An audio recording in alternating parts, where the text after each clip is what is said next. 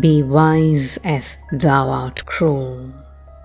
Do not press my tongue tied patience with too much disdain, lest sorrow lend me words, and words express the manner of my pity wanting pain.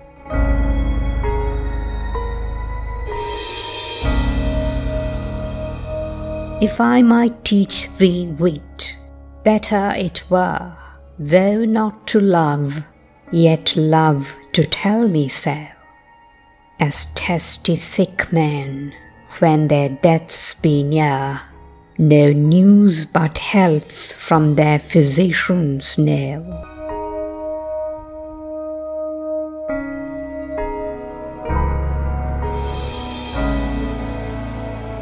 For if I should despair, I should grow mad and in my madness might speak ill of thee.